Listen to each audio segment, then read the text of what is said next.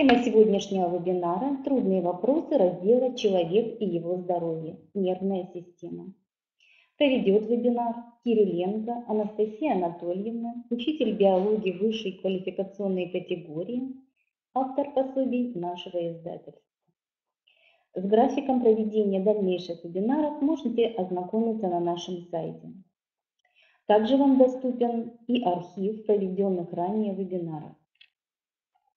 Все материалы мы размещаем на нашем сайте в день проведения вебинара после 18.00 по московскому времени. Тогда же начинается и рассылка сертификатов на вашу электронную почту. Уважаемые коллеги, обратите внимание, что рассылка может длиться в течение суток. Вопросы автору задавайте в чат. Вопросы модератору можно задать с помощью кнопки «Задать вопрос» в левой части экрана. Желаю всем успешной работы и передаю слово нашему лектору.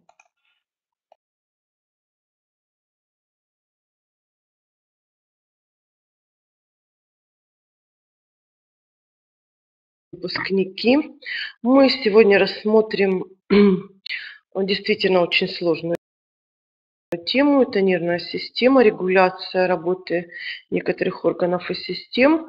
А, планируется, что тоже очень быстро повторим, систематизируем знания по эндокринной системе и а, несколько минут уделим вопросам нейрогуморальной регуляции функций а, человека. А также те, кто с нами да будет до самого конца, во-первых, получит э, маленький подарок в конце, как всегда.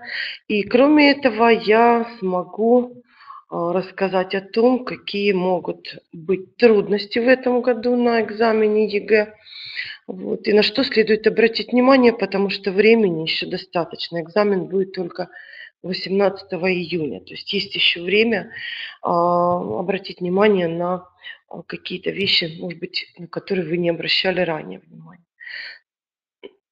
Вот. А в конце у нас будет сюрприз. Я же сказала, перед тем, как мы попрощаемся, будет для всех еще сюрприз. Ну, кроме того, что вы получите сертификаты участника, будет еще маленький сюрприз, но о нем позже. Итак, мы с вами начнем.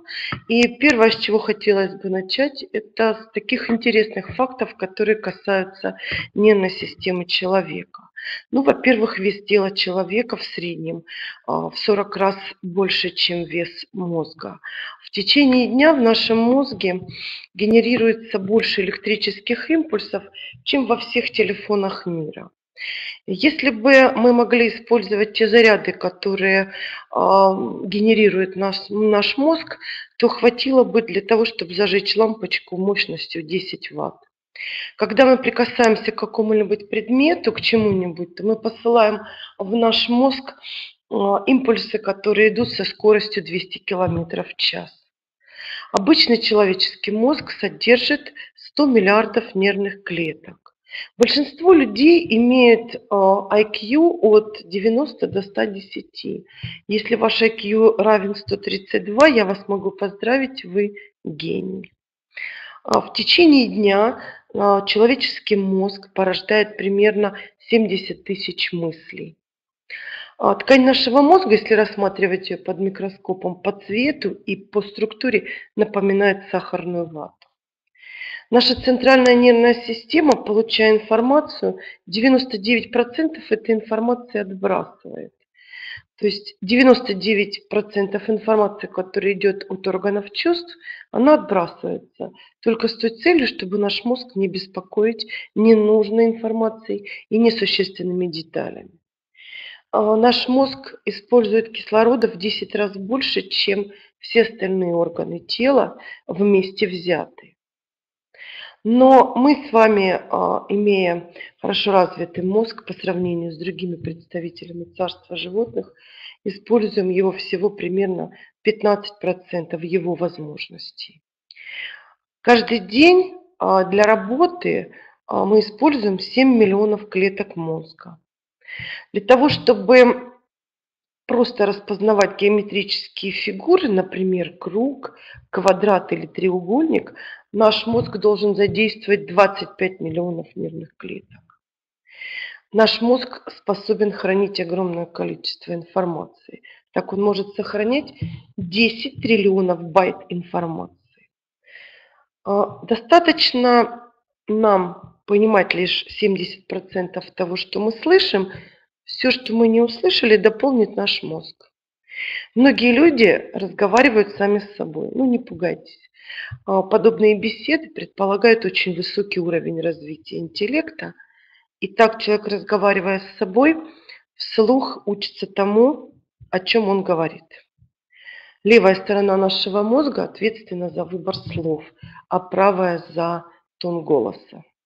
А, левая сторона мозга – это а, кого развито левое полушарие, это люди, которых можно назвать интеллектуалами. Те, у кого хорошо развито правое полушарие, это художники. И, наконец, если с нашим разумом ничего не произошло до 70 лет, то, скорее всего, и дальше с ним будет все в порядке. Ну вот на этой оптимистичной ноте мы начнем с вами нашу работу. И первое, о чем хотелось бы поговорить, это о функциях нервной системы. А, совсем недавно в э, работах ЕГЭ был именно этот вопрос, но многие выпускники почему-то стали описывать функции нейрона или функции нервной ткани. Я обращаю ваше внимание, что речь идет о всей системе, которая представлена головным и спинным мозгом, а также отходящими нервами. И сюда же можно включить еще и анализаторы и высшую нервную деятельность. Поэтому функции нервной системы именно таковы. Это объединение всех органов и систем организма, это согласованная работа этих органов и систем, обязательная связь организма с внешней средой, а получение информации, а также реакции на эту информацию. Ну и, конечно же, нервная система является основой психической деятельности человека, его речи и мышления. А вот дальше мы говорим о том, какие структурные компоненты входят в нервную систему. Ну, во-первых, она представлена центральной нервной системой ЦНС и периферической нервной системой ПНС. Центральная нервная система, она состоит из головного и спинного мозга. Периферическая представлена нервными, нервами и нервными узлами, которые еще по-другому называют ганглии. Нервы и нервные узлы могут быть сенсорными или чувствительными и двигательными. Двигательные нервы обеспечивают э, работу двух систем соматической и вегетативной, или второе название у нее автономная. В свою очередь вегетативная нервная система представлена двумя отделами. Это симпатическим и парасимпатическим. Но о каждом из этих отделов мы поговорим более детально позже. А я хочу напомнить, что если у вас возникают какие-то вопросы ко мне по ходу нашего разговора, вы можете писать в чате, и мне будут просто их передавать. Мы тогда будем приостанавливаться и отвечать на вопросы. Надеюсь, пока все в порядке, вопросов у нас нет. Да? Итак, а, нервная система представлена нервной тканью. Я напомню, что по определению ткани – это группа клеток и межклеточного вещества. Соответственно, эти клетки имеют определенную структуру, строение и выполняют определенные функции. Так вот, клетками нервной ткани являются нейроны. Но больше в 10 раз, чем нейронов, есть и межклеточное вещество, это так называемые клетки-спутники или по-другому нейроглия. Нейроглия э, – это термин от греческого нейро ну, соответственно, нейрон жила, и глия – это клей. А, то есть это межклеточное вещество. Клетки нейроглии а, выполняют защитную функцию, опорную функцию а, и, и трофическую функцию для самих нейронов. Каждый нейрон представлен телом и отростками. Отростки бывают двух видов – дендриты и аксоны. А теперь непосредственно перейдем к характеристике этих отростков. Дендриты – это отростки, которые являются короткими. А их, как правило, очень много у нейрона. Они ветвятся и а, являются такими толстыми отростками. Они переносят информацию, приносят информацию, нервные импульсы к телу нейрона. Аксон, как правило, длинный отросток, он один – Он не ветвится, либо он может ветвиться только на конце. Аксоны передают информацию либо к рабочим органам, либо к другим нейронам. Так. А, вернусь к нейронам и клеткам-спутникам. Клетки-спутники, я сказала, выполняют три функции. Опору, защиту, питание или трофическую функцию для нейронов. Сами нейроны, нервные клетки, они осуществляют связь организма с внешней средой, они между собой объединяют органы и системы и также а, регулируют работу. А, нервная ткань обладает такими свойствами, как возбудимость и проводимость. Еще раз о строении нейрона. Но вот здесь бы я хотела на этой схеме обратить ваше внимание больше на строение аксона. Как видите, аксон – это длинный отросток, который покрыт миелиновой оболочкой. Но миелиновая оболочка, она не сплошная. То есть есть такие голые участки, которые называются перехваты Ранвье.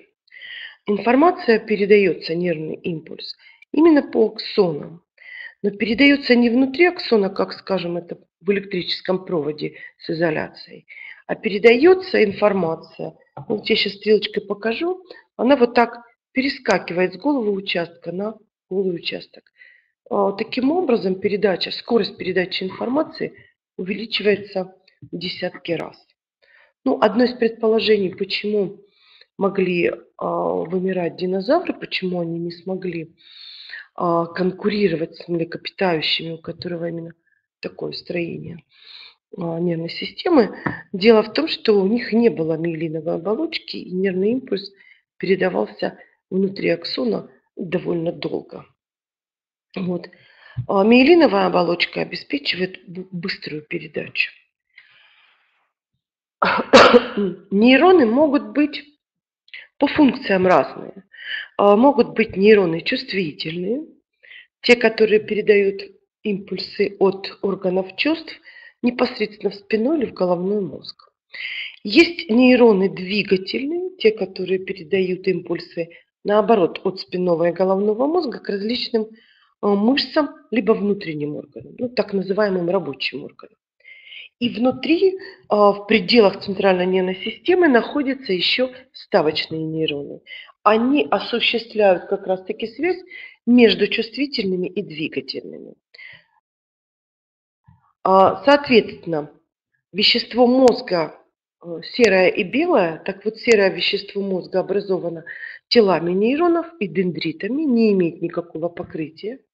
А вот аксоны, покрытые миелиновой оболочкой, как раз-таки формируют белое вещество головного мозга. А, как же работает нервная система? Ну, с седьмого класса нам известно, с седьмого, может быть, кто-то раньше знакомился с таким понятием, как рефлекс.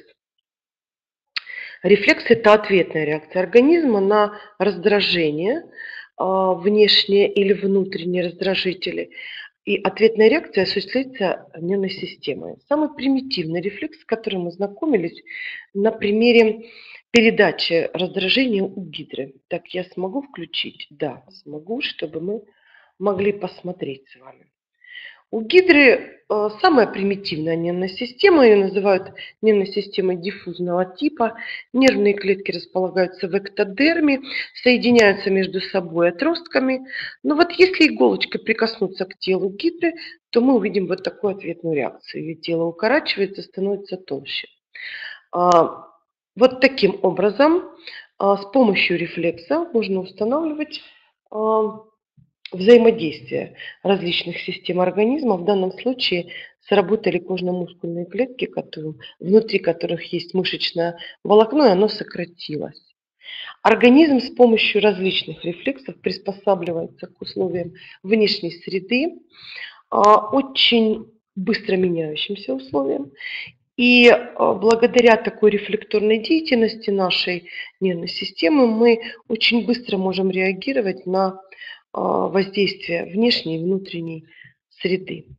Теперь мы с вами познакомимся, как же устроено у нас... Так, сейчас вот это, вот это надо мне закрыть. Все, закрыла. Так. Поехали дальше. Итак, рефлекторная дуга. Рефлекторная дуга представлена пятью компонентами. А, Это рецепторы, которые находятся на периферии и собирают информацию из внешней среды. Дальше эта информация передается по чувствительному нейрону. У него еще название это нейрон афферентный или центростремительный. Это все синонимы. Эта информация поступает в пределы центральной нервной системы. Там находятся вставочные нейроны, которые называются ассоциативные или переключательные. Эти вставочные нейроны обеспечивают связь между чувствительными и двигательными нейронами. И затем информация, которая, поступив из внешней среды, обработалась, и организм решил, какая должна быть ответная реакция, вот тогда вставочный нейрон передает эту информацию двигательному нейрону, или у него еще есть название эферентный или центробежный. А двигательный нейрон уже нервные импульсы передает к рабочему органу или к исполнительному органу, и таким образом осуществляется ответная реакция. Ну, мы сейчас с вами попробуем посмотреть такой небольшой анимированный фрагмент, где можно увидеть, как же происходит передача информации. Итак, вот эта зеленая часть у нас а, это рецептор, который получает информацию по чувствительному нейрону, передает во вставочный, а дальше по двигательному нейрону к рабочему органу. Если вы, ну, сталкивался, наверное, хоть кто-нибудь раз в своей жизни, что он мог обжечь себя горячий утюг или какой-то раскаленный предмет, там кастрюлю, сковородку. Что происходит? А, рецепторы кожи в руке воспринимают болевое а, раздражение, и эта информация по чувствительному нейрону передается в спинной мозг. Дальше по вставочному нейрону осуществляется связь с двигательным или исполнительным нейроном, и происходит сгибание руки в локтевом суставе, срабатывает бицепс, двуглавая мышца плеча. Вот таким образом осуществляется ответная реакция организма. Это защитная реакция. А, ну, можно еще вот так представить рефлекторную дугу. Если на предыдущем слайде там были компоненты, просто как они, структурные компоненты, как они называются, а теперь вот вы можете увидеть, как функционирует рефлекторная дуга. Происходит восприятие а, раздражения с помощью рецептора, дальше соединение рецептора с центральной нервной системой, а затем соединение чувствительного с двигательным нейроном, передача сигнала к рабочему органу и, собственно говоря, тот орган, который будет отвечать на раздражение. А, но не совсем правильно говорить о том, что это рефлекторная дуга. Скорее всего, больше нужно говорить о рефлекторном кольце. А, сейчас вот вы на слайде видите схему, которая может оказаться в работе ЕГЭ, ОГЭ.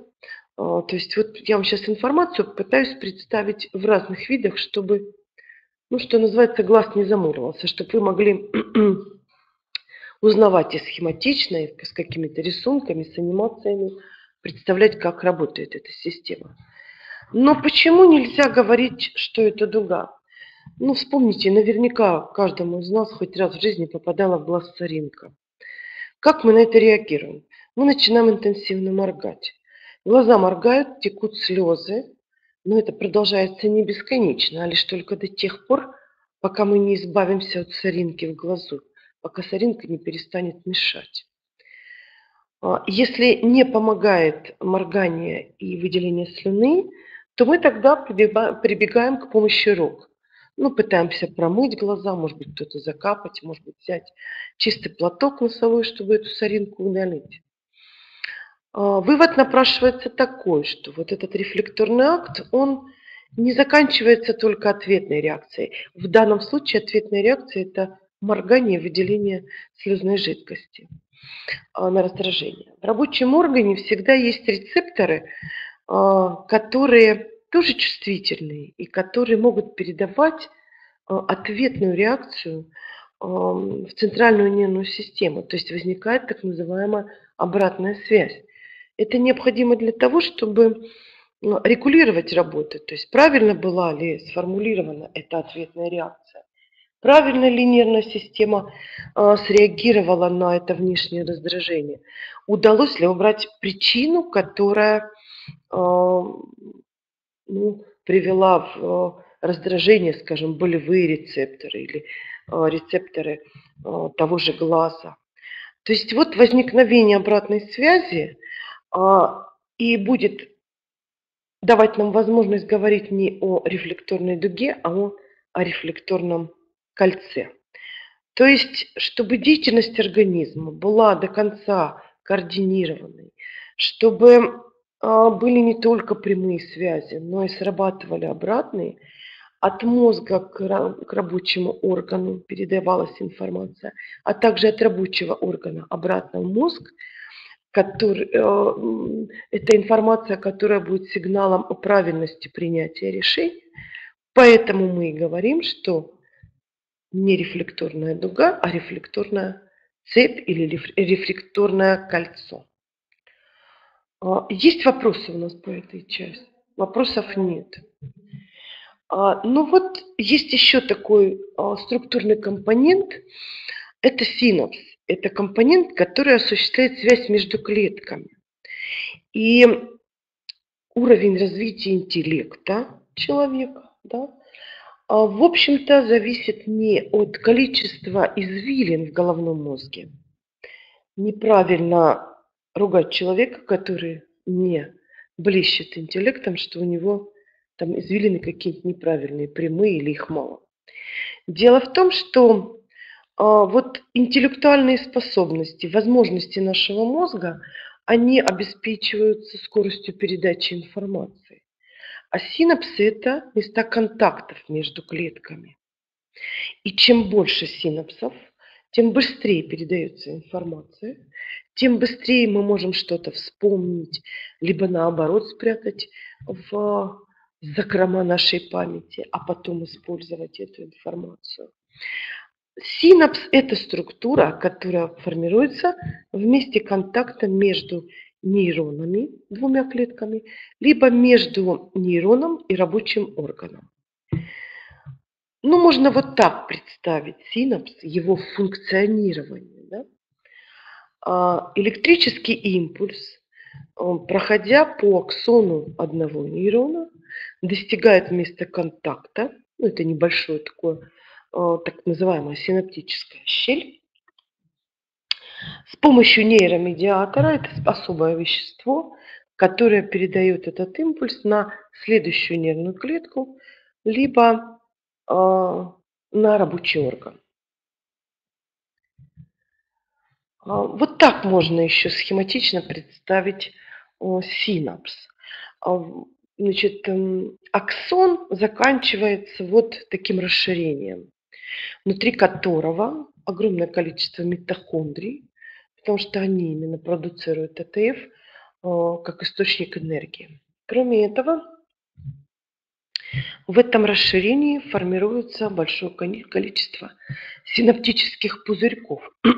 Внутри этих синаптических пузырьков находится биологически активное вещество, которое может работать либо по принципу возбуждения, либо по принципу торможения, потому что нервная система именно так у нас и работает. А при достижении электрического импульса, нервного импульса вот этого расширения, так называемой пресинаптической мембраны, из этого расширения выходят синаптические пузырьки, они лопаются, и медиатор, вещество активное, будет воздействовать на постсинаптическую мембрану, в которой имеется гликокаликс, и таким образом а, идет восприятие а, информации. То есть электрический сигнал, затем химический сигнал и снова электрический. Синапсы могут э, делиться, как классифицировать их можно на группы, как по характеру воздействия возбуждающие и тормозные, так и по месту расположения, то есть между какими э, частями или структурами нервной системы располагаются синапсы. Ну и также по способу передачи информации. Они делятся на химические электрические и смешанные. Химические, сейчас они вот здесь на схеме эм, показаны под буквой А, и мы только что с вами рассматривали, могут быть как возбуждающими, так и тормозными. Электрические представлены э, на рисунке э, В. Э, такие бывают только возбуждающими, встречаются они крайне редко.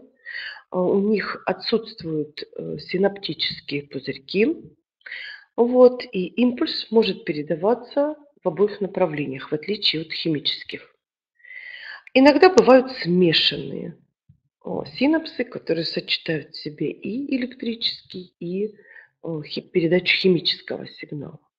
В качестве медиатора могут выступать различные вещества. Например, в возбуждающих химических синапсах медиатором являются либо ацетилхолин, либо норадреналин. К тормозным медиаторам относятся дофамин, глицин и гамма-аминомасляная кислота. По синапсам есть вопросы? Нет вопросов. Ну, теперь мы переходим к строению самой нервной системы. И сначала это структурный компонент центральной нервной системы, спинной мозг, который располагается в спинномозговом канале, образованном отверстиями позвонков. А, это тяж, который может достигать длины а, от 40 до 45 сантиметров. А, его диаметр или толщина около 1 сантиметра. Повторить медиаторы, да, просто хорошо повторил. Итак, медиаторы, которые возбуждающие, это ацетилхолин и норадреналин. И медиаторы тормозные, дофамин, дофамин глицин и гамма-аминомасляная кислота. Надеюсь, успели записать. Ну, вы не волнуйтесь, во-первых, а, вы сможете скачать потом запись вебинара, которая будет сегодня или завтра размещена а, на сайте. Вот. А, вы сможете скачать презентацию. Ну, в презентации про сейчас вот на этих слайдах не было про медиаторы.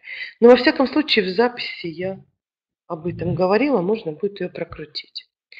А, итак, я возвращаюсь к спинному мозгу, который представлен сегментами. Сегмент – это участок спинного мозга, от которого отходит одна пара спинномозговых нервов. Так вот, в спинном мозге выделяют 31 сегмент. Спинномозговые нервы, они смешаны, они образованы а, передними двигательными корешками и задними чувствительными корешками. Таким образом, всего от спинного мозга отходит 31 пара смешанных спинномозговых нервов. В центре вы видите находится серое вещество. Оно напоминает по форме бабочку, Внутри есть спинномозговой канал, в котором находится ликвор или спинномозговая жидкость, ну, которая выполняет защитную функцию поддержания э, давления э, определенного, ну и, э, конечно же, э, защищает спинной мозг, нервные клетки, как и головную, от э, воздействия там, микроорганизмов и так далее. Так, а, ну вот здесь тоже хорошо видны задние корешки спинномозговых нервов, передние корешки. А, передние, я напомню, чувствительные, задние двигательные. Таким образом, спинномозговой нерв будет смешанный. А, мозг выполняет две функции основные. Это проводниковая, то есть это проведение импульсов из одного отдела в другой, так? А, это проведение нервных импульсов из отделов головного мозга к органам и обратно. И, конечно же, это рефлекторная деятельность. То есть в каждом отделе замыкаются определенные дуги рефлексов безусловных, а, либо формируются дуги условных рефлексов. Поэтому вот две основные функции характерны для спинного мозга. Он выполняет проводниковую функцию – и рефлекторную. Но вот здесь можно говорить о том, что каждый отдел спинного мозга он выпол- внутри этих отделов или сегментов замыкаются а, дуги различных рефлексов. И вот сейчас вы на слайде видите, что, например, а, сегменты шейного и грудного отдела позвоночника. А, Здесь находятся центры рефлексов потоотделения, расширение зрачков, движение диафрагмы. А, Здесь э, находятся нейроны симпатической нервной системы. Это отдел вегетативной нервной системы. В крестцовом отделе замыкаются э, дуги других безусловных рефлексов, и все без исключения сегменты спинного мозга э, содержат, естественно, э, двигательные рефлексы, то есть это обеспечение работы скелетных мышц и определенных участков кожи. То есть при повреждении спинного мозга возможно потеря двигательной активности, ну не сразу всего организма, да, а вот каких-то участков, частей тела, органов. Так, далее э, головной мозг. Головной мозг представлен несколькими отделами. И когда вы скачаете информацию, э, презентацию, то вы сможете воспользоваться вот, этим, вот этой анимированной, интерактивной схемой, где можно будет показывать все отделы, где можно будет использовать режим подсказки, то есть подсвечивается только определенный отдел и появляется о нем информация. Можно спрятать все и себя контролировать с помощью тестового варианта. То есть вот здесь нужно будет распределить, что это такое, затем нажать кнопку «Готово». Ну, мы с вами сейчас так играть не будем, а вот воспользуемся следующим моментом. Итак, головной мозг включает в себя пять отделов. Продолговатый задний, средний промежуточный и передний мозг. Каждый отдел имеет свое строение, особенности строения и выполняет определенные функции. Все без исключения выполняют проводниковую и рефлекторную функцию. Но сейчас более детально. А Продолговатый мозг, который является продолжением спинного мозга, по сути дела повторяет его строение и проводит импульсы нервные из спинного мозга в вышележащие отделы а, центральной нервной системы и обратно. Но вот в продолговатом мозге находятся, замыкаются дуги жизненно важных рефлексов.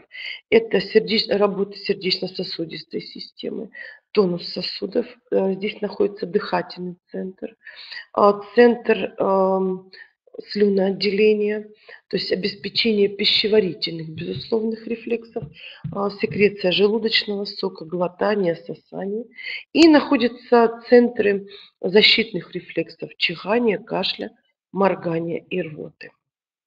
При повреждении шейного отдела позвоночника возможна мгновенная смерть человека, потому что а, могут быть повреждены вот эти жизненно важные центры. Задний мозг представлен мостом, ворливым мостом и мозжечком. Мозжечок состоит из двух полушарий, которые соединены червем между собой. Эти полушария покрыты серым веществом, которое принято называть корой. Мозжечок имеет извилины. Опять-таки он выполняет проводниковую функцию, и импульсы из продолговатого мозга направляются в вышележащие отделы и обратно. А Задний мозг обеспечивает координацию сложных движений. Задний мозг обеспечивает равновесие тела, поддержание позы. А Наши мышцы находятся в тонусе, а, то есть у нас не падает голова, мы не разваливаемся, мы можем поддерживать свою позу, а, так как какие-то мышцы сокращаются в этот момент, какие-то наоборот расслабляются. И задний мозг, в частности мост, он регулирует вегетативные функции, состав крови, сосудистые рефлексы и движение глазных яблок. Следующий отдел – это средний мозг, который представлен ножками мозга и четверохолмием. А проводниковая функция заключается в том, что из заднего, а, от заднего мозга к промежуточному и коре больших полушарий э, к спинному и продолговатому, здесь проходит, э, как раз таки проводятся импульсы нервные. Средний мозг отвечает за такие функции, его рефлекторная деятельность связана с поддержанием позы, иннервацией мышц глаза. И здесь находятся подкорковые центры зрения и слуха. Помните, я вам сказала вначале, что 99% информации, которую мы получаем от органов чувств, она отметается для того, чтобы не беспокоить мозг ненужными деталями. Так вот, под, подкорковый центр зрения и слуха находится именно в среднем мозге, и здесь замыкаются ориентировочные рефлексы. То есть тут определяется важность информации. Стоит ли ее дальше проводить, или можно каким-то образом на этом этапе с этой информацией справиться и дать ответную реакцию. Так, вопросов нет? Вопросов нет. Промежуточный мозг. Ну, это отдел, который представлен, а, во-первых, железами внутренней секреции эпифизом и гипофизом. А, состоит из таламуса, гипоталамуса и осуществляет тоже две функции – проводниковую и рефлекторную. Проводниковая заключается в том, что информация передается а, от продолговатого среднего мозга к большим полушариям и обратно. А рефлекторная заключается в том, что промежуточный мозг, в частности гипоталамус, является высшим центром вегетативной а, нервной системы. А, здесь находится центр голода и насыщения, центр удовольствия, жажды, центр боли. А, Гипоталамус продуцирует нейрогормоны. То есть это гормоны, биологически активные вещества, которые продуцируются нервными клетками. Гипоталамус, вырабатывая нейрогормоны, влияет на работу гипофиза, а тот, в свою очередь, регулирует работу желез внутренней секреции. Но об этом мы с вами поговорим чуть позже. Таламус – это высший подкорковый центр всех видов чувствительности, кроме обоняние, вкуса и слуха. А, в таламусе находится центр сна и бодрствования, а также центры эмоций, положительных и отрицательных. И таламус еще обеспечивает психическую деятельность. Ну и, наконец, передний или конечный мозг, который состоит из больших полушарий, а, соединенных между собой мозолистым телом. Передний мозг покрыт корой, а, которая включает в себя около 14 миллиардов нейронов, и ее толщина может достигать 4,5 миллиметра. Да? А основная проводниковая функция – это связь полушарий со всеми отделами головного и спинного мозга. И рефлекторная заключается в том, что в коре замыкаются дуги как безусловных, так и условных рефлексов. Здесь находятся центральные части, центральные отделы анализаторов слухового, зрительного, кожно-мышечной чувствительности, обонятельного, осязательного. А большие полушария являются основным органом психической деятельности, обеспечивают сложное поведение человека, я бы даже сказала, культуру поведения человека. А вторую сигнальную систему представляет, а вторая сигнальная система – это речь и мышление человека. Передний мозг является органом хранения, приобретения, накопления жизненного опыта. Да, и, конечно же, контролирует работу всех органов и систем и обеспечивает связь с внешней средой. Так, а что касается коры больших полушарий, то э, кора больших полушарий имеет так называемые ассоциативные зоны или поля ассоциативные, которые отличаются э, по строению и функциям.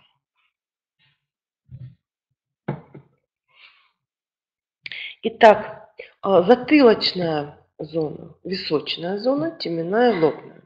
В каждой из этих зон находятся свои ассоциативные поля. И мы сейчас с вами попытаемся, вот не получается. Ладно, будем двигаться дальше вот таким образом.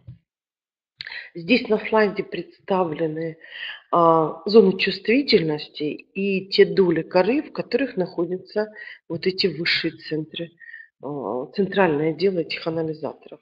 Итак, затылочная а, доля коры – это зрительная а, чувствительность. В височной а, находится слуховая, вкусовая и обонятельная. Теменная а, зона, доля коры, это зоны кожно-мышечной чувствительности и двигательной. Лобная отвечает у нас за речь именно способность писать и говорить. А, а вот височная, там находятся центры, которые отвечают за восприятие устной и письменной речи.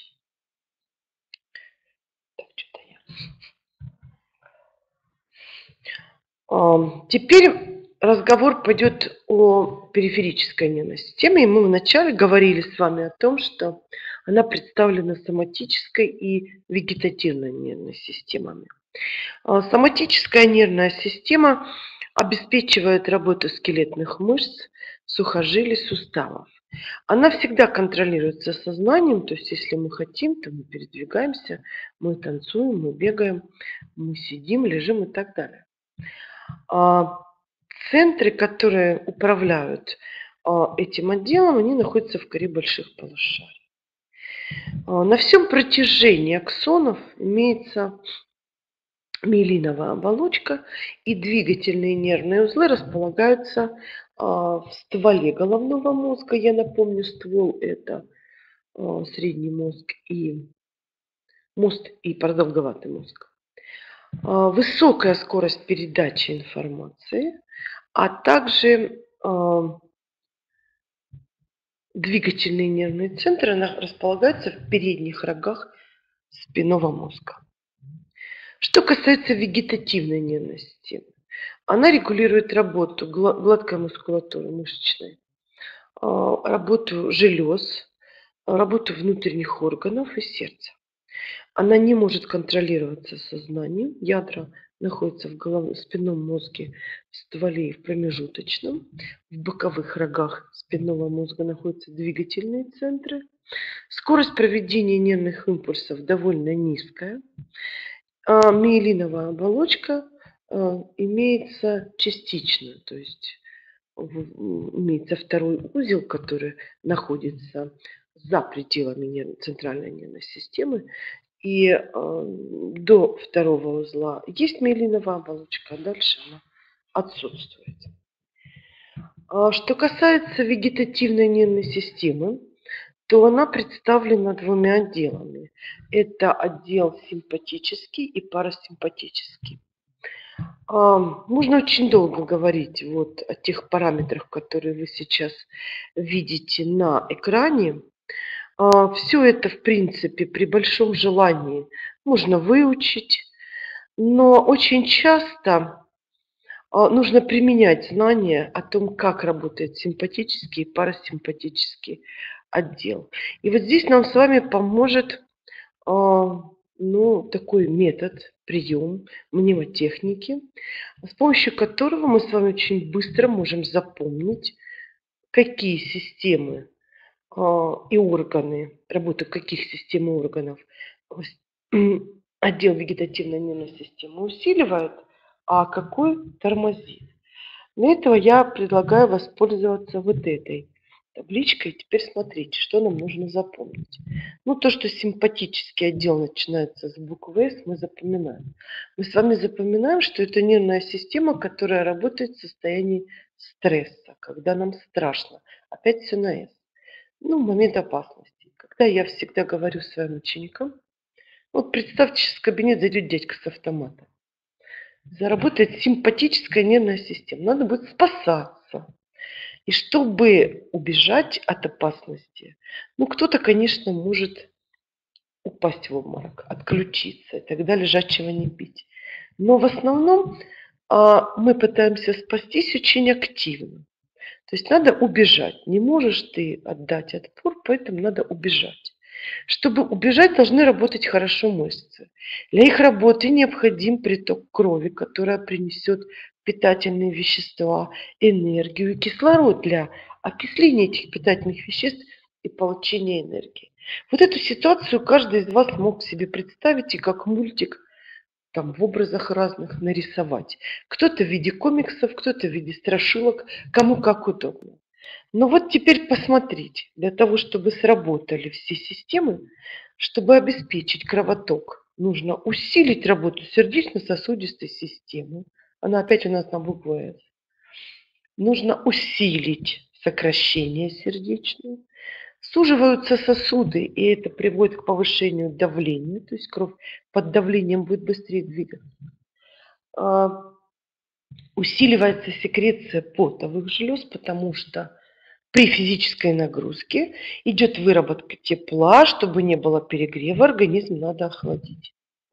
Ну и, конечно, повышается уровень сахара в крови, а потому что глюкоза – это единственный источник энергии.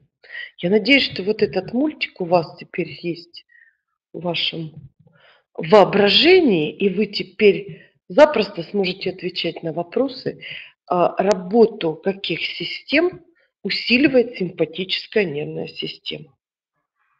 Сердечно-сосудистая, дыхательная система, а, обменные процессы, да, идет стимуляция вот этих органов. Так, вот все, опасность миновала, мы убежали, дядьки нету, все. Опасность миновала, надо возвращаться в привычное русло. Наступает состояние покоя, и тут работает парасимпатическая нервная система. Теперь все на П. Теперь должно произойти понижение функций, то есть восстановление их работы до нормы. Не совсем они там будут в анабиоз впадать. Они должны вернуться в физиологическую норму. Поэтому понижаются функции сердечно-сосудистой системы. Снижается потребность в кислороде. Уже не надо никуда бежать. Вот. Идет понижение артериального давления за счет того, что сосуды расширяются. Но вот здесь просыпается пищеварительная система. До этого она молчала. Ну, потому что в момент опасности никто из нас не будет думать, где бы взять бутерброд или плитку шоколада. А вот когда опасность миновала, энергия потрачена, и уж надо восстановить, вот тогда может у некоторых просыпаться такой зверский аппетит. Поэтому можно объяснить, что многие люди свои стрессы заедают. Вот здесь нужно работать над собой, бороться со стрессами, но не через усиленное потребление сладостей после стресса. А, я надеюсь, что эта э, табличка вам поможет. Все, да, симпатическое все на S, усиление, сердечно-сосудистая система, содержание сахара повышается, суживаются сосуды, все на S. А когда наступает покой, отбой, то работает парасимпатическая. Тут все на П. Тут главное на первое место – выходит пищеварительная система, которая усиливает свою работу. Но можно это представлять и вот таким образом э, информацию. А, а, значит, ну, в принципе, можно говорить о том, что общее действие симпатической нервной системы возбуждающее, хотя не все системы она приводит в такое повышенное состояние. А парасимпатическое, ее общее действие, это тормозящее. Одна работает в состоянии стресса, страха, опасности, другая в состоянии покоя и так далее. Вот здесь обратите внимание, как раз-таки есть медиаторы, которые вот в симпатической нервной системе будет работать норадреналин, а ацетилхолин будет работать а, в парасимпатической нервной системе. Но можно эту информацию представлять еще и по-другому. Сейчас я покажу. Здесь вот вы сейчас на схеме видите расположение симпатической и парасимпатических э, центров, узлов. А, обращу ваше внимание, что симпатические ганглии находятся в самих органах и за пределами центральной нервной системы, а парасимпатика находится в пределах центральной нервной системы и вблизи различных органов. Ну, может быть, кому-то поможет еще вот эта картинка. Хотя мне кажется, что она несколько перегружена информацией. Вот там все-таки проще запомнить, а потом рассматривать эту картинку. Но можете воспользоваться этой схемой. Здесь стрелочками показано. Итак, смотрите. Зрачки симпатическое расширяют, парасимпатика сужает. Вспомните поговорку. У страха глаза велики.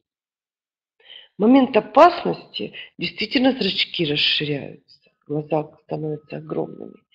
И многие животные имитируют огромные глаза, чтобы напугать. А, есть такие рисунки на перьях, а, хвостовых перьев павлина.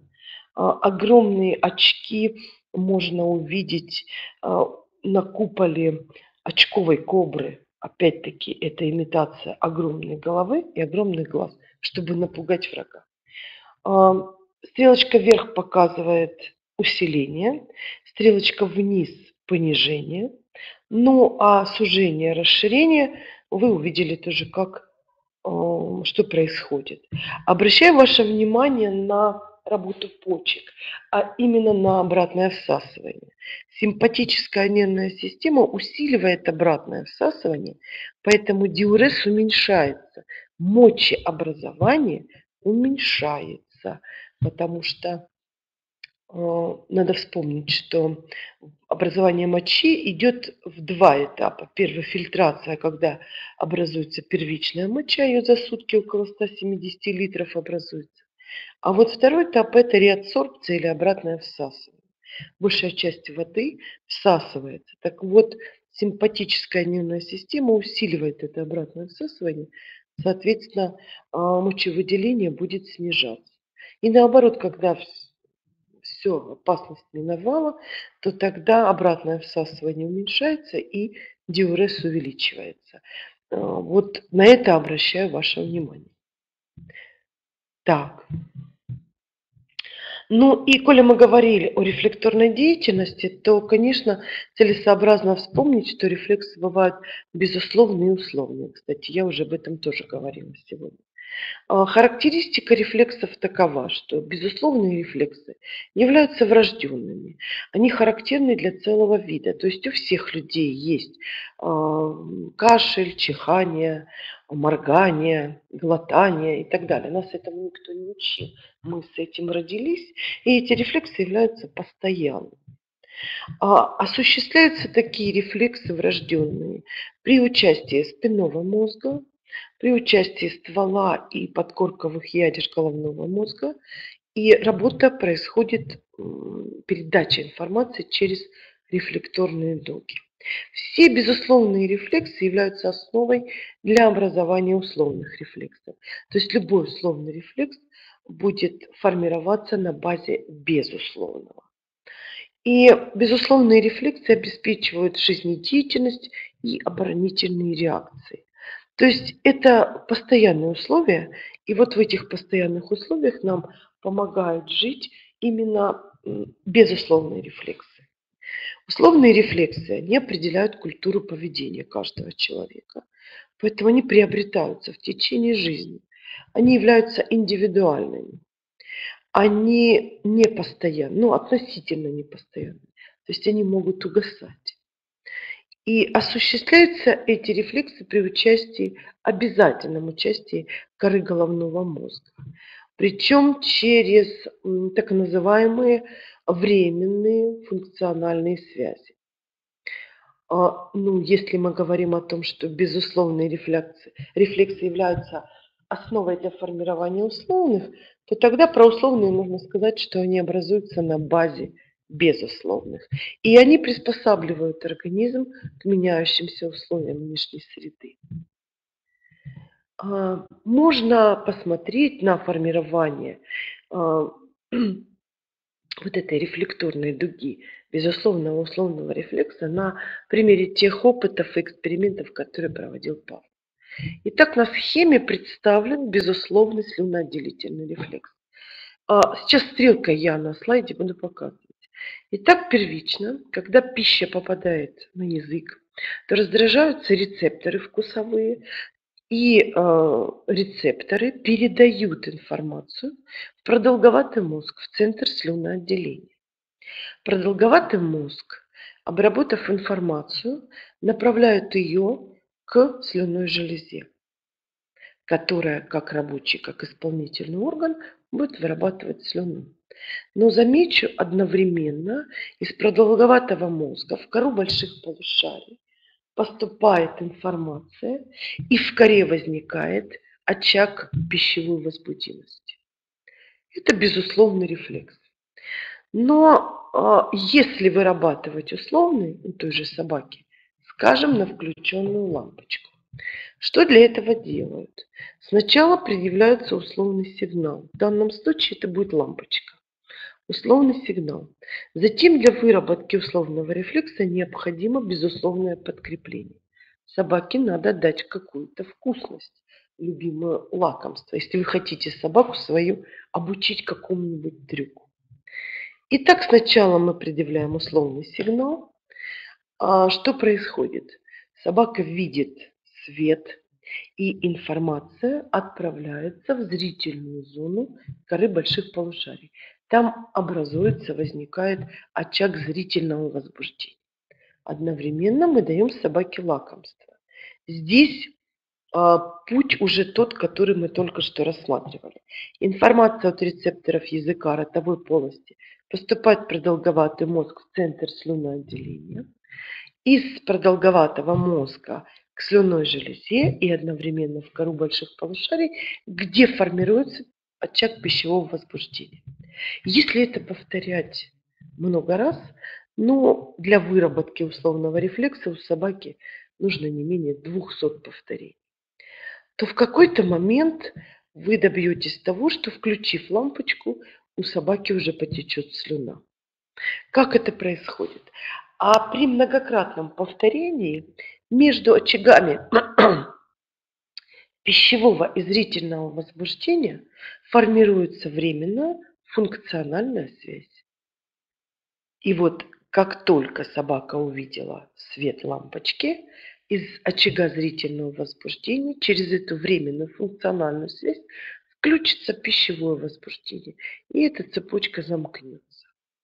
Но если вы будете обманывать своего питомца и включать лампочку без безусловного подкрепления, без лакомства, этот рефлекс может затухнуть, потому что порвется вот эта временная функциональная связь.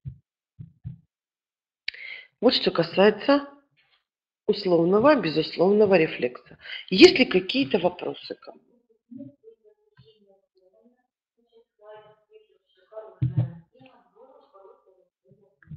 Спасибо. Ну, а мы тогда с вами перейдем ко второй части нашей встречи. Это как раз-таки вспомним и на что нужно обращать внимание э, при повторении а, этого, этой темы эндокринная система или железы внутренней секреции. А здесь на слайде вы сейчас видите а, классификацию желез, внешняя секреция, внутренняя секреция смешанная.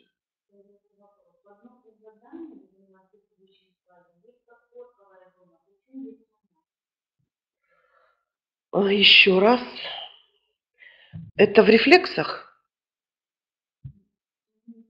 Ну, если речь идет о безусловных рефлексах, то э, дуги и работа вообще этих рефлексов осуществляется через подкорковые ядра головного мозга. То есть в подкорке находятся еще ядра головного, э, ядра, э, которые замыкают дуги безусловных рефлексов. Э, с этим и связано вот формирование условного и безусловного. Давайте в конце тогда более детально, может быть, э, вопрос зададут. В рефлексах, да, да, да. Но подкорковые ядра есть. И э, в них замыкаются э, дуги безусловных рефлексов. Поэтому мы говорили о коре и подкорке. Итак, железы внешней секреции, те, которые имеют протоки, они вырабатывают секреты. Эти секреты выделяются либо на поверхность органа, либо в его полость а, или на кожу. Железы внутренней секреции протоков не имеют, никаких выводных. Биологически активные вещества или секреты выделяются непосредственно в кровь или лимфу. И железы смешанной секреции сочетают в себе внешнюю и внутрисекреторную функции. Железами внешней, э, внешней секреции являются слюнные их три пары, печень, как самая крупная железа человеческого организма, желудочный, кишечный, молочный, потовый, сальный. Железы внутренней секреции, те, которые продуцируют свои секреты гормоны непосредственно в кровь и лимфу, гипофиз и щитовидная железа, э, тимус и надпочечники. И железами смешанной секреции являются половые железы и поджелудочная. Половые железы выполняют две функции. И внешнесекреторная заключается в выработке половых клеток, а внутрисекреторная выработка половых гормонов. Поджелудочная железа. Внешнесекреторная функция – это выработка пищеварительных ферментов, которые попадают в полость двенадцатиперстной кишки по а, протоку и выработка гормонов инсулина и глюкогона, непосредственно которые попадают в кровь и регулируют уровень глюкозы. А, гормоны – это органические вещества, причем они могут быть как белковой природы, так и не белковой, могут быть производными жирных кислот, стероидами могут быть. Они являются биологически активными. Причем они обладают очень высокой физиологической активностью. Они обладают специфичностью действия, то есть они могут регулировать только определенный обменный процесс, либо они могут действовать только на определенные ткани. Ну, в качестве примера, инсулин снижает уровень глюкозы в крови, глюкогон повышает. Два разных гормона действуют на вот процесс по-разному. А, обладают гормоны всегда а, местным действием или дистантным, то есть общим действием. Ну, скажем, гормон роста, он влияет на весь организм, а не на то, чтобы а, росли там только пальцы или, я не знаю, какие-то части тела. А, гормоны действуют в течение длительного времени, но достаточно медленно, хотя и длительно. А, каждый орган он может реагировать только на определенный гормон. И этот гормон, а, вернее, этот орган будет называться органом мишень. Клетки органов могут воспринимать гормоны, и восприятие это происходит с помощью гликокалекса. Я напомню, что гликокаликс – это э, такие полисахаридные образования, э, находящиеся на поверхности мембран. То есть они представлены углеводами. Есть вопрос? Вилочковая железа или тимус, да, это эндокринная железа. Сейчас мы о ней поговорим. Эндокринный аппарат представлен двумя частями. Центральное звено – это гипоталамус, гипофиз, эпифиз. Все это находится в головном мозге. Это структурные компоненты промежуточного мозга. И периферическое звено, которое э, это различные органы. Это могут быть скопления клеток, встроенные в какие-то стенки органов, либо это вообще даже одиночные клетки, периферическое звено. А, эндокринный аппарат человека. Вот сейчас здесь на схеме как раз-таки вы и видите гипоталамус, эпифиз, гипофиз, щитовидную, паращитовидные железы, вилочковую или тимус, надпочечники, поджелудочную и половые яичники и яички. Вот такая схема. Так, а что касается центрального звена, то я сказала, что центральное звено представлено гипоталамусом и гипофизом. А гипофиз – это придаток мозга, гипоталамус – это часть промежуточного мозга. Так вот,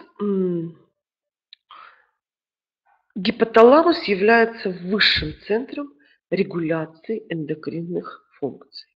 Сам гипофиз называют железой внутренней секреции, железой дирижером. То есть это железа, которая регулирует работу всех других желез внутренней секреции. Как же происходит а, взаимодействие гипоталамуса, который может а, оказывать свое воздействие на эндокринные железы двумя способами. Ну, напрямую по нисходящим путям, по нервным путям, либо через гипофиз.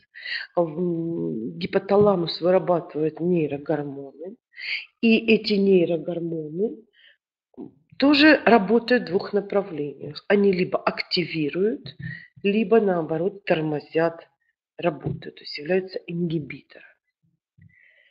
Как происходит взаимодействие между гипоталамусом, гипофизом и другими железами внутренней секреции? Ну вот если вы сейчас посмотрите на схему, то здесь э, мы можем проследить, как щитовидная железа связана с гипофизом и гипоталамусом. Мы сейчас попробуем это посмотреть с вами. Вот анимированный фрагмент, который я прокомментирую. Итак, что получается? Информация а, может приходить в гипоталамус только с помощью крови. Да? А кровеносные сосуды сюда, в промежуточный мозг, приносят кровь, в которой могут находиться какие-либо биологически активные вещества, и гипоталамус оценивает, их достаточно, может быть, их не хватает, либо их избыток.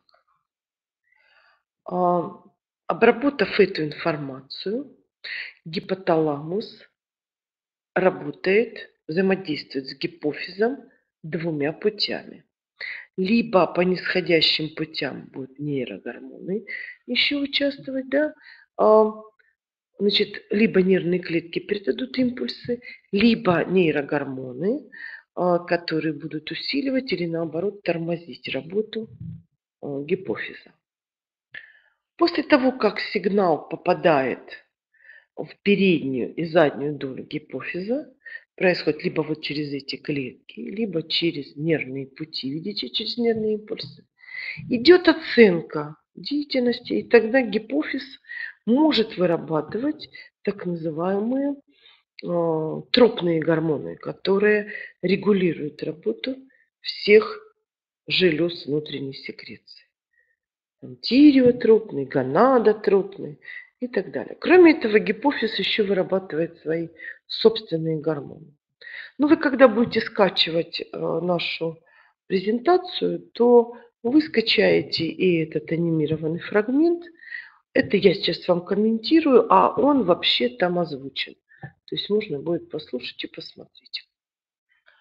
А, итак, гипофиз, который имеет переднюю, заднюю и небольшую такую промежуточную или среднюю долю, вырабатывает различные гормоны, как я сказала, тропные, которые могут регулировать работу других желез, тиреотропная щитовидная железа, адренокортикотропные надпочечники, гонадотропные там, половые железы. Ну и есть э, собственные гормоны. А, гормон роста, хоть он и соматотропный, но тем не менее это собственный гормон, который регулирует рост, обмен веществ всех клеток. Меланотропин, окситоцин, вазопрессин и так далее. Вот гормоны, которые вырабатывает гипофиз. Но работа а, желез, она оценивается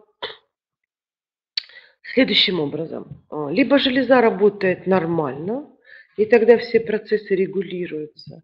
Но возможно состояние гипо- и гиперфункции некоторых желез. Причем вот что касается гормона роста, здесь возможно гипо- и гиперфункция а, как в детском возрасте, так и у взрослых. Результаты, правда, будут разными. Итак, у детей, если наблюдается гипофункция гормона роста, то развивается карликовость. Если гиперфункция, то есть больше вырабатывается гормона, развивается состояние, которое называется гигантизм. И то, и другое состояние, да, маленький рост либо высокий, но все пропорционально, то есть сохраняются пропорции тела. Если же гормона роста вырабатывается много у взрослого человека, то наступает такое состояние, как акромегалия. То есть это увеличение, непропорциональное увеличение некоторых частей тела. Нос может увеличиваться, губы, пальцы, щеки, кисти, увеличиваться в размерах язык, могут увеличиваться просто стопы за счет того, что разрастаются хрящи, кости, мягкие ткани.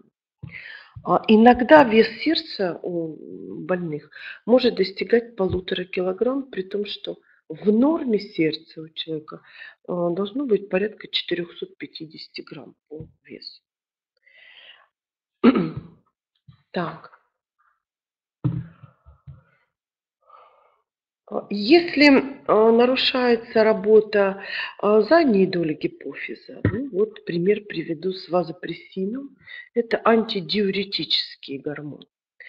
А при недостатке этого гормона развивается несахарный диабет, то есть нарушается обратное всасывание, образуется огромное количество мочи, и такие больные вырабатывают за сутки до 30 литров мочи. Если же этого гормона много, то тогда обратное всасывание усиливается. И мочи при норме, что ее должно полтора литра выделяться в сутки, у таких больных вырабатывается всего 250 миллилитров. Вот как этот гормон действует на диурез. С одной стороны он его усиливает, то есть снижает обратное всасывание. С другой стороны он уменьшает диурез, усиливая обратное всасывание. А, это второй этап образования мочи. Эпифиз – шишковидное тело, которое расположен в промежуточном мозге по размеру еще меньше, чем гипофиз. А, эпифиз вырабатывает э, два интересных гормона – мелатонин и серотонин. Эти гормоны тормозят половое созревание, они регулируют суточную сезонную активность организма, обеспечивают такую, знаете, экономную, эффективную, рациональную жизнедеятельность, но без лишних движений, без лишних затрат и так далее. Если будет избыток этих гормонов, то будет недоразвитие половых желез, и вторичных половых признаков, потому что эти гормоны тормозят половое созревание, а если их избыток, то это торможение происходит еще сильнее. При недостатке, наоборот, будет преждевременное а, половое созревание. А, щитовидная железа, которая расположена на щитовидном хряще гортани на передней поверхности шеи, масса достигает 30-60 грамм, а, состоит из фолликулов, это такие структурные функциональные компоненты щитовидной железы. Вот каждый фолликул представлен железистым эпителием и заполнен каждый фолликул таким особым коллоидным веществом. Гормоны, которые вырабатывает щитовидная железа, а, это тироксин, триод, тиранин, содержащий йод, и кальцитонин. А, тироксин регулирует обмен веществ, физическое, психическое развитие, функционирование нервной системы, сердечно-сосудистой системы, формирование скелета.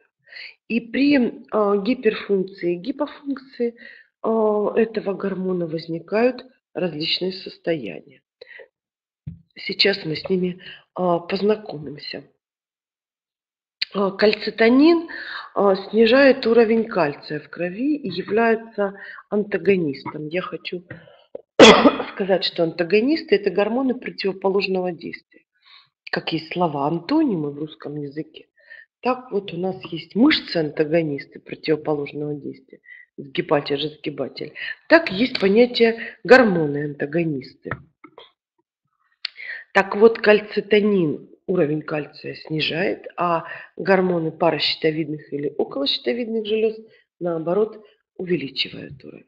Какие состояния может возник, могут возникнуть у человека при нарушении работы щитовидной железы? Базидовая болезнь возникает у а, людей а, при гиперфункции. Люди а, которые страдают э, базитовой болезнью, ну вот лучше вспомнить, чтобы представить, как ведет себя человек с базитовой болезнью, лучше э, вспомнить сказку, а, где разгневанная мачеха превращается на глазах у падчерицы а, в ведьму. Нос ее становится таким монстром, глаза вылазят из орбит, лицо и шея вздуваются, на ней. И мачеха начинала трястись. Это люди, у которых повышен уровень обмена веществ. Они много едят, при этом очень много быстро худеют. У них а, перепады настроения. Они могут смеяться, смех может заканчиваться слезами. А у них, как правило, наблюдается дрожание рук, учащенный пульс, а, бессонница, они быстро устают. Ну вот энергия просто сгорают, повышенная возбудимость. И характерный признак для базидовой болезни– это пучеглазие. А, Люди взрослые, у которых гипофункция а, щитовидной железы, они страдают миксидемой. То есть все симптомы прямо противоположные. А, Отечное лицо, одутловато, повышенная чувствительность к холоду, слабость. Люди сонливы, кожа сухая, волосы ломкие, кожа начинает шелушиться, выпадение волос наблюдается, замедление роста волос, ногтей, а, пониженная температура, и при том, что человек очень мало ест, он набирает вес, то есть вот ожирение. А, Если в детском возрасте не хватает гормонов щитовидной железы, то развивается кретинизм, который а, характеризуется нарушением физического и психического развития. Нарушение пропорций тела, карликовость, то есть рост приостанавливается и отставание в психическом развитии. При правильно назначенном лечении, а, вовремя назначенном лечении, возможно приведение всех этих процессов в норму. Но некоторые области географические а, характеризуются тем, что в почве не хватает йода, соединений йода. В пище не хватает соединений йода, и тогда щитовидная железа разрастается, чтобы компенсировать это. Развивается эндемический зоб. Ну вот наша Ростовская область, например, является таким регионом географическим, где рекомендуется использовать для подсаливания приготовленной пищи, сейчас вот огромное количество салатов пойдет, можно использовать специально подготовленную морскую соль, либо специально иодированная соль продается в магазинах. Единственное, что этой солью нельзя а, солить ни рыбу, ни впрок, ни капусту, ни вот сейчас начнется сезон огурцов, начнут делать малосольные, то есть йодированную соль для этого использовать нельзя. А подсаливать салаты, которые вы едите, суп, там первые, вторые блюда, пожалуйста. А можно употреблять в пищу морепродукты. Ну, например, та же морская капуста будет компенсировать нехватку йода. Очень полезно есть много яблок, которые содержат железо, но самое важное съедать вместе с зернышками. Вот это тоже будет способствовать профилактике, так скажем. Ну, вообще, а, йода в сутки человеку требуется где-то 0,6 миллиграммов в сутки, но а, имейте в виду, что это не тот йод, который продается в аптеке в виде спиртового раствора. Этим йодом а, мы не восполним нехватку в пище соединений. Йод. Функция гипоталамуса. Гипоталамус– это высший центр регуляции а, эндокринной системы. Он регулирует работу гипофиза, который в свою очередь регулирует работу, деятельность всех желез внутренней секреции. Кроме того, в гипоталамусе находятся еще и а, центры жажды, насыщения, а, центр удовольствия а, и так далее. Я думаю, что я ответила на этот вопрос. Надпочечники– это железы внутренней секреции, парные органы, которые располагаются в виде таких треугольных шапочек у верхнего полюса почек. Также представлены, как и почки, корковым и мозговым слоем. Масса этих небольших желез около 12 грамм, но вырабатывают эти маленькие э, железки около 28 гормонов.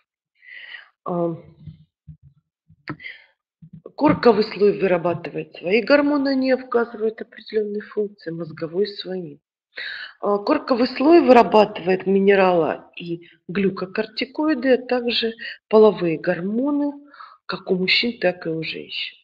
А, Все эти гормоны регулируют все виды обмена веществ, обмена натрия, калия, а также препятствуют развитию различных воспалительных процессов и отвечают за развитие вторичных половых признаков. Мозговой слой э, продуцирует адреналин и норадреналин. Адреналин – это гормон стресса. Он работает точно так же, по той же схеме, что и симпатическая нервная система. То есть все будет на S. Повышается тонус мелких сосудов, сужаются сосуды, повышается давление, а, снижается перистальтика кишечника, усиливается сила и частота сердечных сокращений и так далее. То есть по тому же принципу работают, как и а, симпатическая нервная система. Что касается а, кортикоидов, то м, может быть и гипо- и гиперфункция надпочечников. При гиперфункции наблюдается раннее половое созревание и нарушение развития вторичных признаков половых, а при гипофункции развивается аддисоновая болезнь или бронзовая болезнь, а, которая была открыта в 1855 году английским врачом Аддисоном. А В рассказе Тургенева можно, рассказ называется «Живые мощи», а, можно прочитать, как Тургенев описывал бронзовую болезнь. Ну, я позволю себе вам зачитать цитату. Я приблизился и столбенел от удивления. Передо мной лежало живое человеческое существо. Но что это было такое? Голова совершенно высохшая, одноцветная, бронзовая. Не дать не взять совершенно... А, не дать не взять икона старинного письма. Губ почти не видать, только зубы белеют. И глаза. Да из-под платка выбиваются на лоб жидкие пряди желтых волос. При бронзовой болезни нарушается обмен ам, солей между кровью и тканями человека. У человека развивается сильнейшая слабость, он теряет вес, а, кожные покровы и даже слизистые оболочки приобретают характерный бронзовый оттенок. А, Иногда случается а, гиперфункция мозгового слоя и вырабатывается больше адреналина и норадреналина, чем необходимо. Люди а, с этими состояниями страдают учащенными сердцебиениями, повышенным а, давлением, особенно если происходит испуг, гнев, страх и так далее. А вот гипофункции по адреналину и норадреналину практически не наблюдается, потому что количество этих гормонов также э, регулируется еще и нервной системой. А, Околощитовидные или паращитовидные железы, они вырабатывают гормон, который называется а, паратирин или парадгормон. А, Он является гормоном противоположного действия, антагонист кальцитонину, который продуцирует э, щитовидная железа. Происходит повышение содержания кальция в крови, активируется а, рассасывание костной ткани. А, Этот гормон регулирует а, обмен фосфора и кальция. Фосфор выводится почками, а кальций, наоборот, откладывается в тканях. Если избыток этого гормона, то можно увидеть м, характеристика или симптомы. Это разрушение костной ткани из-за того, что кальций из нее вымывается и откладывается выходит в кровь и выводится из организма. Если удалить паращитовидные железы, то можно наблюдать титанию или судороги, снижение веса и разрушение зубов. То есть ну, нарушается обмен кальция. Вот мы дошли с вами до вилочковой железы, до тимуса. Кто-то спрашивал, что же это такое. А, Тимус, вилочковая или зобная железа, вырабатывает два типа гормонов. Это тимозин и тимопоэтин. не обеспечивают дифференцировку Т-лимфоцитов. Т-лимфоциты в наш прошлый вебинар был посвящен крови кровообращению. Мы там говорили о разновидности лимфоцитов, в частности, Т-лимфоциты есть киллеры, хелперы и супрессоры. А, значит, гормоны как раз-таки будут стимулировать дифференцировку, продукцию, образование этих лимфоцитов. А они, в свою очередь, обеспечивают а, иммунные реакции. Поэтому говорят, что тимус является центральным органом а, иммуногенеза и отвечает за формирование иммунитета. Я думаю, что я ответила на вопрос нашего слушателя по поводу тимуса. Поджелудочная железа, железа смешанной секреции.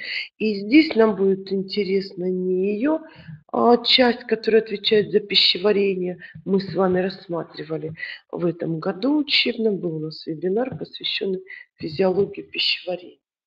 А нужно сказать, что небольшая группа клеток вырабатывает гормоны. Бета-клетки вырабатывают инсулин, и он снижает в крови уровень глюкозы, то есть понижает. Глюкоза из ткань из крови переходит, превращается в гликоген и откладывается либо в мышечной ткани, либо в клетках печени. Глюкагон – гормон-антагонист, он вырабатывается альфа-клетками, и он наоборот повышает содержание глюкозы в крови, переводит глюко, гликоген в, до состояния глюкозы, расщепляет.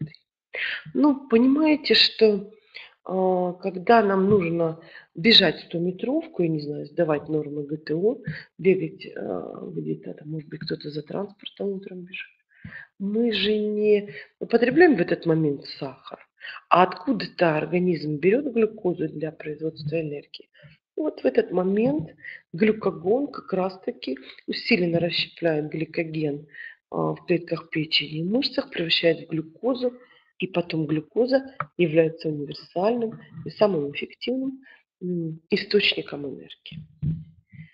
Так, а, и половые железы а, которые вырабатывают мужские и женские гормоны.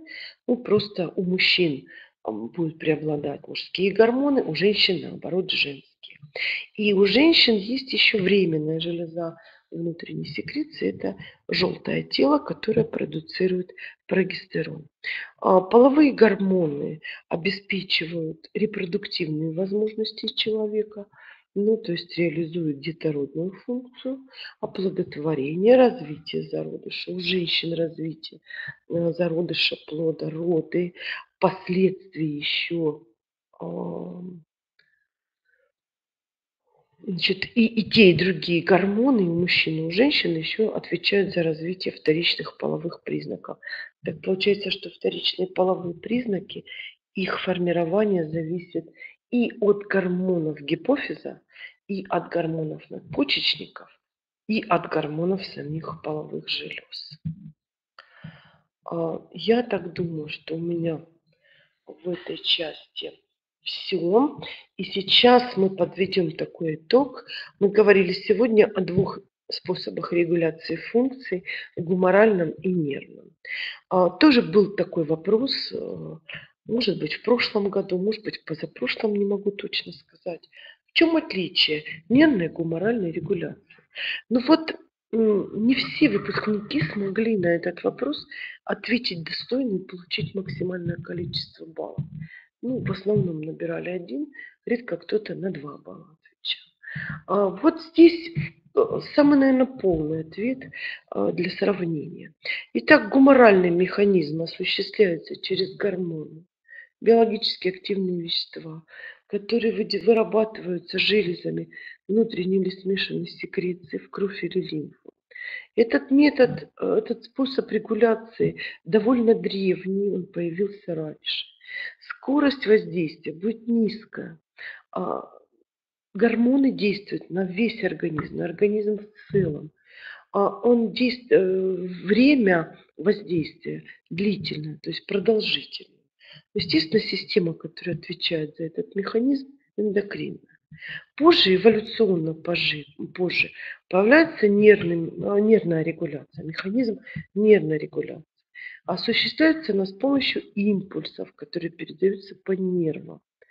Скорость передачи огромная, высокая. Воздействие возможно не просто на отдельные органы, а даже на конкретные клетки. Время воздействия очень короткое, настолько целенаправленное воздействие идет. Система, которая обеспечивает этот механизм регуляции, это, конечно же, нервная система. Вот это мы с вами повторили. Ну а теперь я хотела бы обратить ваше внимание на регуляцию работы некоторых органов. Возможно, что вам это пригодится на экзамене, либо вы просто начнете еще и ну, осознанно понимать, как использовать вот то, что мы сегодня с вами так систематизировали, повторили а, в практической части, то есть когда нужно формулировать ответ на вопрос.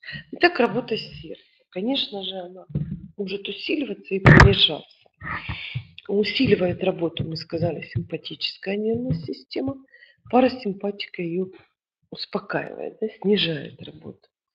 А, но кроме нервной регуляции осуществляется еще и гуморальная.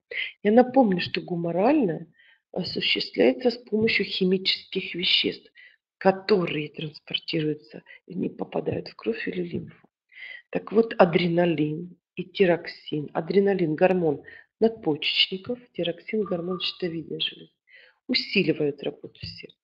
Ионы кальция, которые находятся в крови, они тоже будут усиливать работу сердца ацетилхолин, брадикинин, вещества, которые снижают работу сердечно-сосудистой системы, и повышенное содержание ионов тоже будет снижать работу. И так получается, что есть два способа регуляции любого органа, любой системы. Нервная и гуморальная. И та, и другая регуляция осуществляется либо по схеме усиления, увеличения либо по схеме торможения работы. Вот, пожалуйста, регуляция дыхания. Нервная регуляция осуществляется дыхательным центром, который располагается в продолговатом мозге. И там есть центр вдоха и выдоха. И получается, что центр вдоха тормозит центр выдоха, а центр выдоха стимулирует центр вдоха. А кора больших полушарий. Мы с вами можем задерживать дыхание. Нам, когда говорят а, не дышать, мы можем его задерживать. Да? Поэтому а, здесь еще в регуляции дыхания может участвовать и кора больших полушарий. Но есть и гуморальная регуляция дыхания за счет изменения парциального давления углекислого газа крови. То есть при увеличении концентрации углекислоты дыхание становится частым и глубоким. Как только концентрация углекислого газа снижается в крови, то а, происходит понижение возбудимости дыхательного центра, дыхание становится а, ну, более поверхностным и частота снижается. Регуляция выделения тоже осуществляется двумя способами. Нервной системой и гуморальной. Мы с вами говорили сегодня о симпатической парасимпатической. Так вот, симпатическая уменьшает диурез, потому что она усиливает обратное всасывание. А парасимпатика, наоборот, увеличивает диурез, потому что она ослабевает, снижает э, обратное всасывание. Крестцовом отделе спинного мозга есть центр мочеиспускания. Но его работа, а, которая подчиняется воздействию коры больших полушарий, формируется у ребенка где-то к трем годам. Ну, раньше как бы можно, конечно, пытаться приучить ребенка проситься на горшок, но а, тем не менее центр этот еще не сформирован, он не зрелый, поэтому нужно набраться терпения. И э, регуляция работы почек выделительной системы осуществляется с помощью гуморальных механизмов. Это гормоны надпочечников, альдостерон и тироксин, гормон щитовидной железы, усиливают мочеотделение, то есть работают по принципу парасимпатической нервной Вазопрессин, а, гормон гипофиза, его еще называют антидиуретическим, повышает мочеобразование, усиливает реабсорбцию, уменьшают мочеобразование, усиливают реабсорбцию. То есть они а, будут работать по принципу симпатической нервной системы. Но, может быть, я не очень удачно здесь таблицы разместила, хотя так крест-накрест для разнообразия, чтобы все-таки... Угу.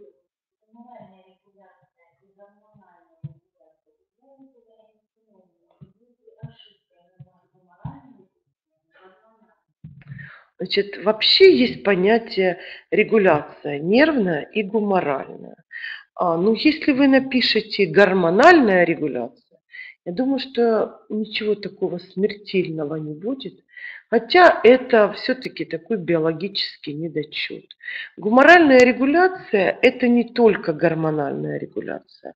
Вы же видели, я вам приводила примеры, что ионы калия, кальция могут оказывать воздействие, регулирующими оказываются. Но это же не гормоны. А количество или концентрация углекислого газа в крови, опять-таки углекислый газ – это же не гормон, но тем не менее концентрация его может усиливать а, дыхание, либо наоборот ослаблять. Поэтому если говорить о правильности, о грамотности, то, конечно, гуморальная регуляция. Нет, это не синоним. Это как бы небольшая такая часть. А, ну, это, скажем так, ответ был бы неполный. Вот и все. А если бы это касалось регуляции работы дыхательной системы, то там мы не говорили ни про какие гормоны. Там основным регулятором гуморальным является концентрация углекислого газа. Тогда получается, что вы бы ответили на вопрос неверно.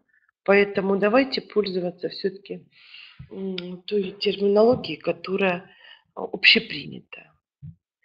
Ну, а, я, как обычно, вам предлагала а, вопросы по а, теме нашего разговора, но сегодня мы так с вами продуктивно работаем, еще хочется вам всякие новости рассказать и подарки подарить.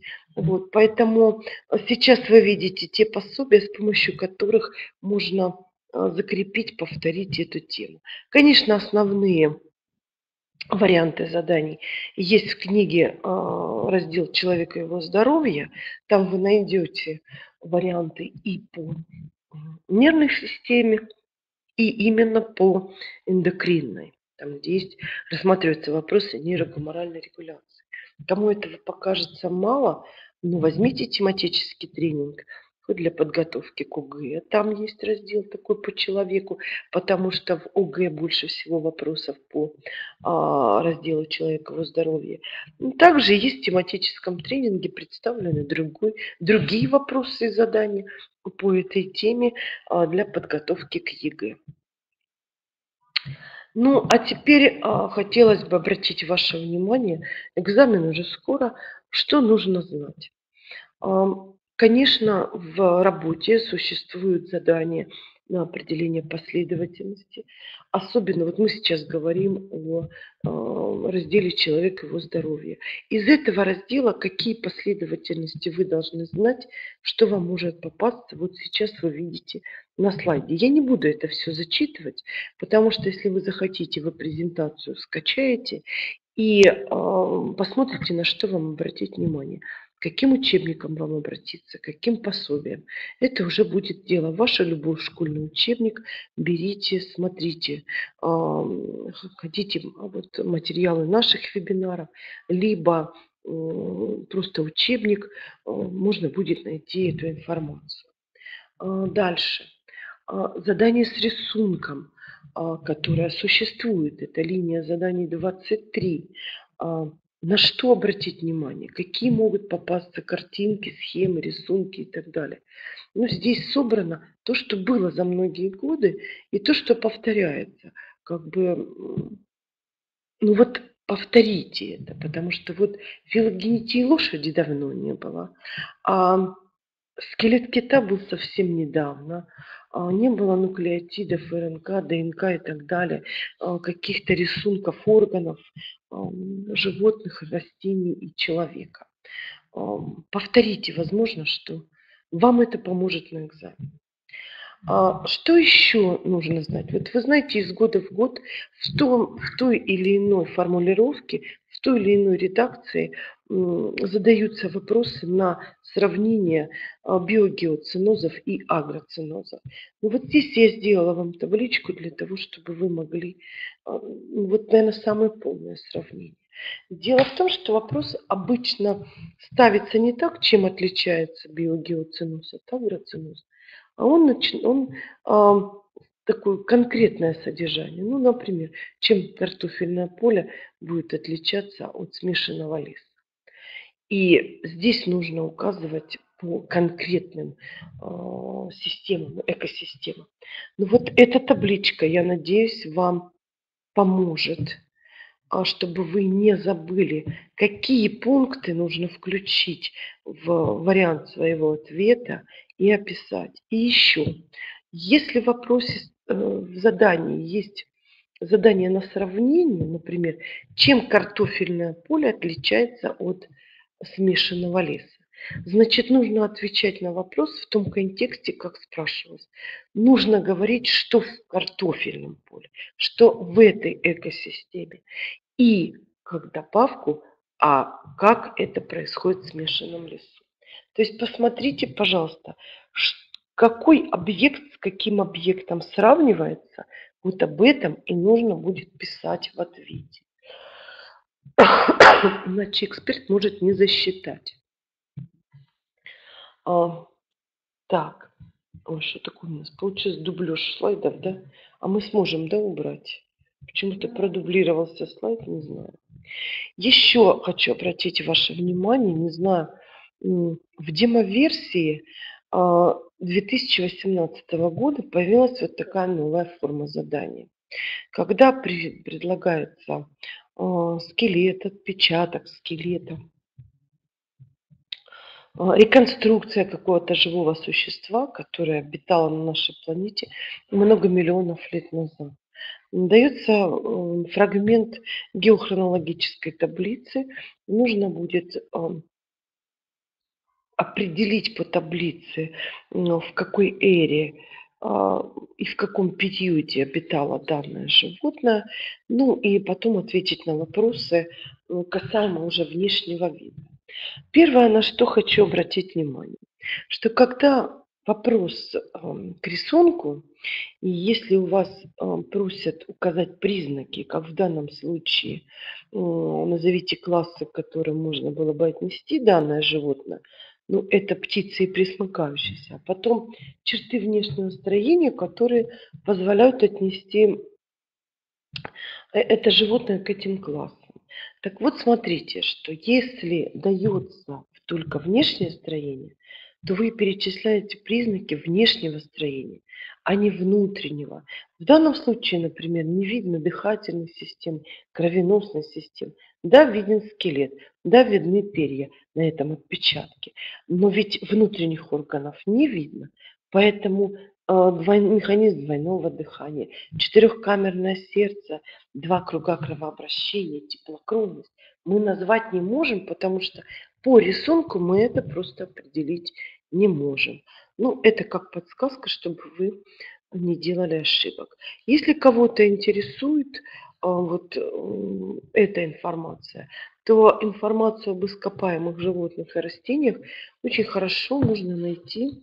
Она представлена, а, сейчас я покажу, в учебниках Александра Валентиновича Теремова и Ренаты Арминаковны Петрусовой. Эти учебники можно в формате PDF скачать, не обязательно их покупать э, себе сейчас, а в интернете они в доступе. Вы можете скачать, вы можете в онлайн режиме посмотреть страницы, где описаны вот эти вот древние ископаемые животные. Ну и еще один момент, тот, который касается заданий, связанных с генетикой и молекулярной биологией. Опять-таки в демоверсии в качестве практика ориентированного, заданий, это задание номер 22, первое во второй части, предлагается построить э, хромосомную карту. То есть нужно будет нарисовать хромосому и обозначить на ней гены. А Фрагмент хромосомы вам придется перерисовывать в бланк, а на нем уже отмечать расположение генов, сделав а, ну, там, примитивные расчеты и объяснения. А Также задача, которая по молекулярной биологии, это 27 задание. Если вдруг задача предполагает работу с таблицей генетического кода, из которой вы должны, например, написать а, пример кодона, который кодирует какую-либо аминокислоту, то я обращаю ваше внимание, что в заданиях сейчас а, просят перечислить все кодоны, не только какой-то один, а все кодоны. А некоторые аминокислоты кодируются двумя кодонами, четырьмя или даже шестью. То есть вот на это надо обратить внимание. Ну и последнее. Задача по генетике, а, особенно на сцепленное наследование по закону Томаса Моргана, а, раньше давалось а, с э, указанием количества фенотипов. Ну, мы судили о том, что тех, которых больше с фенотипами родительских форм, или больше тех, у которых перекомбинированные признаки, мы могли определять, а, какие гены сцеплены. Доминантные, либо рецессивные, либо доминантные с рецессивным. Но тогда всегда давались цифры и фенотипы. Сейчас не предполагается указание фенотипов у потомков, а может быть в задаче только количественное соотношение. Ну, например, вот так, что появились потомки в соотношении 3 к 3 к 1 к 1. С какими фенотипами? А, каких больше, каких меньше, вам придется узнавать самим, решая эту задачу. Но иногда такие задачи, коллеги меня поймут, могут иметь два варианта решения, особенно если это сцепленное наследование. А сцепление может быть как двухдоминантных, двухрецессивных, так и в разной комбинации. Один доминантный, другой рецессивный.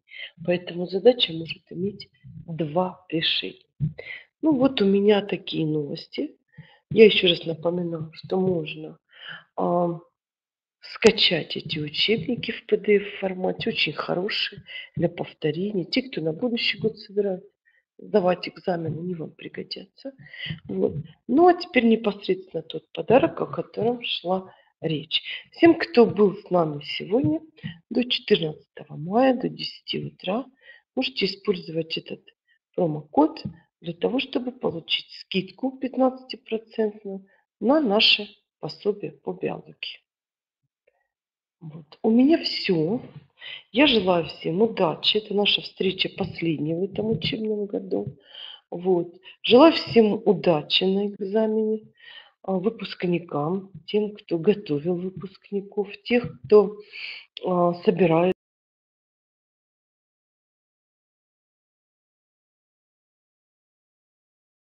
готова ответить.